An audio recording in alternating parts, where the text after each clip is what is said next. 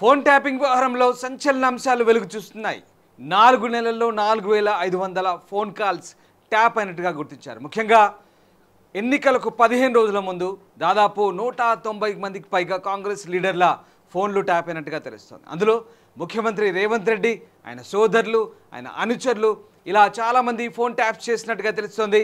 దాంతోపాటు అటు ఈటల రాజేందర్ సంబంధించినటువంటి ఫోన్లు కూడా ట్యాప్ అయినట్టుగా తెలుస్తోంది.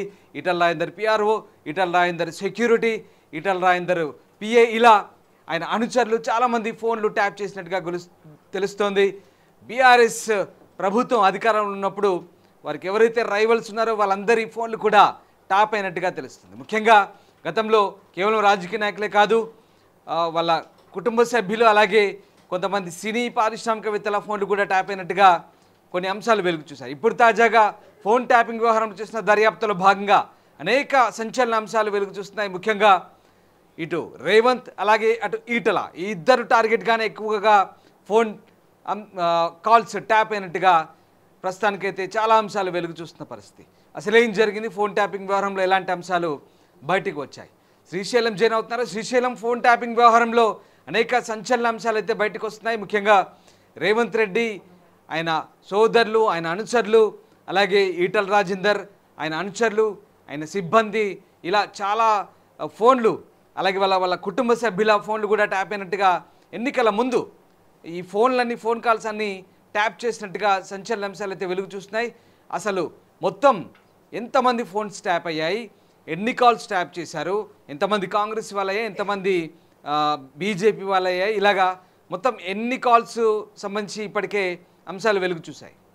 Yes exactly Ramdas phone tapping సంబంధించినటువంటి అంశము. ఇప్పుడు తెర మీదకి మరోసారి వచ్చినటువంటి పరిస్థితి మనం చూస్తూ ఉన్నాం గతంలో ఎవరైతే ప్రణీత్ రావు కావచ్చు భుజంగ రావచ్చు కావచ్చు తిరుపతన్న కావచ్చు వీళ్ళంతా కూడా వీళ్ళ ఆధ్వర్యంలోనే గత ప్రభుత్వ ఆదేశాల మేరకే ఇక ఫోన్ ట్యాపింగ్ చేసినట్టుగా వాళ్ళు ఇక నేరాన్ని కూడా అంగీకరించినటువంటి పరిస్థితి మనం చూసాము. ఇంకొంతమంది పరారిలో ఉండి విదేశాల్లో ఉన్నటువంటి పరిస్థితి మనం చూస్తూ ఉన్నాము. ఏదైతే భుజరంగ భుజంగరావు కావచ్చు ఇంకొంతమంది అధికారులు కూడా. కేవలం గతంలో ఉన్నటువంటి ప్రభుత్వ పెద్దల ఆ యొక్క ఒత్తిడి వల్ల మాత్రమే ఇటువంటి ఫోన్ ట్యాపింగ్లు చేశాము. అది కూడా నాలుగు నెలల్లో దాదాపు నాలుగు నెలల్లో నాలుగు వేల ఐదు వందల మంది ఫోన్ ట్యాప్ చేసినట్టు తెలుస్తోంది.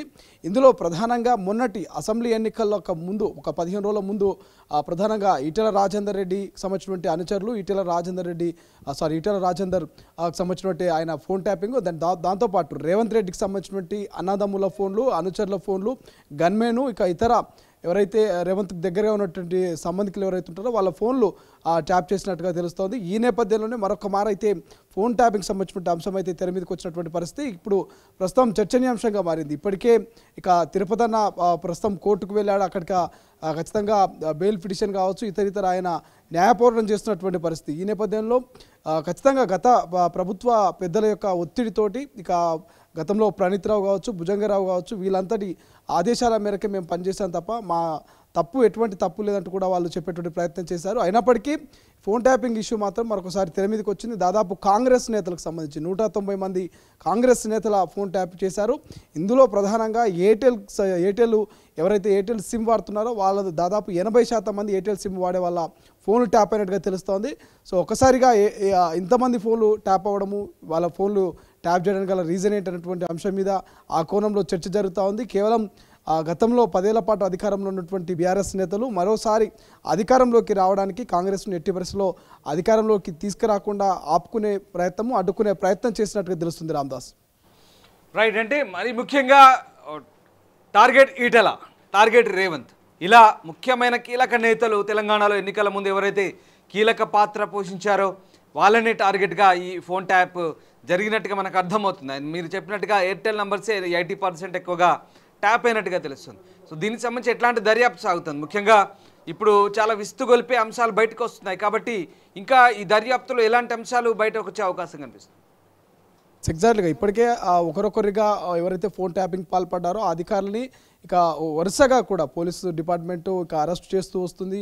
వాళ్ళను స్వాధీనం చేసుకుంటున్న వారి దగ్గర ఉన్నటువంటి ఆ యొక్క హార్డ్ డిస్క్లు కావచ్చు ఇతరితర ఏవైతే అప్పుడు వర్క్ చేసినటువంటి ఆ యొక్క సిస్టమ్స్ను కూడా స్వాధీనం చేసుకోవడం కొన్ని ప్రణీత్ రావు అనేటువంటి వ్యక్తి కూడా కొన్ని ఆ డిస్క్లను ధ్వంసం చేయడం జరిగింది. అందరికీ తెలిసిన విషయమే మళ్ళీ ఇక ఏదైతే ఈ యొక్క పూర్తి ఫోన్ ట్యాబ్కి సంబంధించిన ఇష్యూలో ఎవరెవరు పాల్గొన్నారు ఏ ఎక్విప్మెంట్ యూజ్ చేశారు ఏ సిస్టమ్స్ ఎక్కడెక్కడి నుంచి ఏ నెట్వర్క్ల ద్వారా ఫోన్ ట్యాపింగ్ చేసినటువంటి పూర్తి డేటాను తెలుసుకుంటున్నారు. దానికి సంబంధించినటువంటి పూర్తి ఆ యొక్క డాక్యుమెంట్స్ అవన్నీ కూడా వాళ్ళు ప్రిపేర్ చేస్తున్నారు. ఇప్పటికే ఉన్నత స్థాయి అధికారులంతా కూడా ఇక వారెంబడి ఇప్పుడు ఎవరైతే ప్రణీత్ రావు కావచ్చు లేకపోతే భుజంగరావు కావచ్చు ఇతర ఎవరైతే అధికారులు పాల్గొన్నారో వాళ్ళని పట్టుకునే ప్రయత్నం చేస్తున్నారు. వారి నుంచి వివరణ తీసుకుంటున్నారు. కొంతమంది ఆ వివరణ కూడా ఇస్తూ ఉన్నారు. క్లియర్గా ఒప్పుకుంటున్నారు. ఖచ్చితంగా తప్పు జరిగింది. అది గత ప్రభుత్వ పెద్దల ఆధ్వర్యంలోనే జరిగింది. వాళ్ళ ఒత్తిడితో తప్పులు చేస్తాను తప్ప మేము ఏదో వ్యక్తిగతంగా లేకపోతే ఇతరితర మా అవసరాల కోసం ఎట్టి పరిస్థితుల్లోనూ కూడా ఈ ఫోన్ ట్యాపింగ్ను వాడలేదంటూ వాళ్ళు చెప్తున్నారు.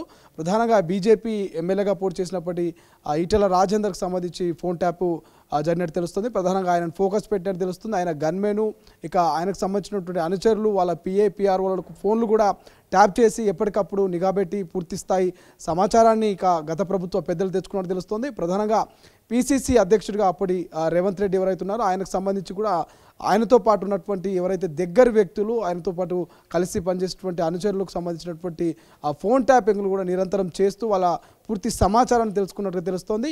ఈ నేపథ్యంలో కాంగ్రెస్ ప్రభుత్వం అధికారంలోకి వచ్చి పదకొండు నెలలు అవుతుంది. పదకొండు నెలల్లోనే అధికారంలోకి వచ్చిన మూడు నెలల్లోనే ఫోన్ ట్యాపింగ్ ఇష్యూను తెర మీద తీసుకొచ్చింది. అనేక మంది ఎన్ఎం శ్రీనివాసరెడ్డి కావచ్చు రఘునందన్ రావు కావచ్చు ఇట్లా చాలామంది నేతలంతా కూడా ఎన్నికల సమయంలో మా ఫోన్లు ట్యాప్ అయ్యాయి. ఖచ్చితంగా మా మా యొక్క ఫిర్యాదును స్వీకరించి మా ఆ ఫిర్యాదు మేరకు ఖచ్చితంగా దర్యాప్తు చేపట్టాలి. ఖచ్చితంగా మాకు న్యాయం చేయాలి. ఎవరైతే ఫోన్ ట్యాపింగ్ పాల్పడరో వాళ్ళ మీద ఖచ్చితంగా శిక్షించాలంటూ కూడా రఘునందన్ రావు కావచ్చు ఎన్ఎం శ్రీనివాసరెడ్డి లాంటి కొంతమంది నేతలంతా డీజీపీ ఆఫీస్కి వెళ్ళి ఫిర్యాదు చేయడం జరిగింది. అనంతరం ఖచ్చితంగా ప్రభుత్వం యాక్షన్ తీసుకుంటుంది. ఫోన్ ట్యాపింగ్కు పాల్పడినటువంటి గత ప్రభుత్వ పెద్దలు కావచ్చు ఆ పోలీసులు ఎవరైతే అధికారులు ఉన్నారో వాళ్ళ మీద యాక్షన్ తీసుకుంటామంటూ కూడా రేవంత్ సర్కార్ హామీ ఇవ్వడం జరిగింది. ఇది ఒక చర్చ జరుగుతుంది. ఈ టైంలో మళ్ళీ ఈ అంశం తెర మీదకి రావడం కొంత ఇంట్రెస్టింగ్గా ఇక పొలిటికల్ సర్కిల్లో అయితే చర్చ జరుగుతుంది. ఖచ్చితంగా రేపో మాపో ఫోన్ ట్యాపింగ్ సంబంధించినటువంటి ఇంకా పూర్తి స్థాయి సమాచారము అప్పటి అధికారులు అప్పటి పెద్దలంతా కూడా తెర మీదకి వచ్చే ఛాన్స్ ఉన్నట్టుగా తెలుస్తుంది. Right yes thank you Srisailam right ఇది మొత్తం మీద ఫోన్ ట్యాపింగ్ వ్యవహారంలో అనేక కొత్త కోణాలు వెలుగు చూస్తున్నాయి. ముఖ్యంగా ఎయిర్టెల్ కస్టమర్లే లక్ష్యంగా. అంటే దాదాపు ఎనభై శాతం మంది పొలిటీషియన్స్ ఎవరైతే ఎయిర్టెల్ వాడుతున్నారో అందులో ఎనభై శాతం ఎయిర్టెల్ నంబర్లే ఎక్కువగా ఇక్కడ ట్యాప్ అయినట్టుగా తెలుస్తుంది. మరి ముఖ్యంగా రేవంత్ రెడ్డి ఆయన సిబ్బంది ఆయన బంధువులు ఆయన అన్నతమ్ములు అలాగే ఆయన అనుచరులు. ఇలా ఆయన సోదరులు సరే వీళ్ళందరూ ఉంటారు. ఆయన సర్కిల్ ఎవరైతే ఉంటారో వాళ్ళందరి ఫోన్లు కూడా ట్యాప్ చేసినట్టు తెలుస్తుంది. దాంతోపాటు ఈటల రాజేందర్ సేమ్ ఈటల రాజేందర్ సర్కిల్ ఎవరైతే ఉన్నారో వాళ్ళందరికీ కూడా ట్యాప్ చేసినట్టుగా తెలుస్తుంది. ఆయన పిఆర్ఓ గన్మెన్ పిఏ ఇలా ఆయన సిబ్బంది అనుచరులు వీళ్ళకి కూడా ఫోన్ ట్యాప్ చేసినట్టుగా తెలుస్తుంది. మొత్తం మీద వాళ్ళ వాళ్ళకి ఎవరైతే ప్రత్యర్థులు ఉన్నారో వాళ్ళ అప్పటి ప్రభుత్వం ఏదైతే ఉందో బీఆర్ఎస్ ప్రభుత్వం వాళ్ళ ప్రత్యర్థుల ఫోన్లన్నీ కూడా ట్యాప్ చేసి అనేక అంశాలు రాబట్టుకున్నట్టుగా తెలుస్తోంది. ఇవన్నీ కూడా కొత్త కొత్త కోణాలు విస్తుగొల్పే అంశాలు అయితే ప్రస్తుతం విచారణలో బయటకు వస్తున్నట్టుగా తెలుస్తోంది.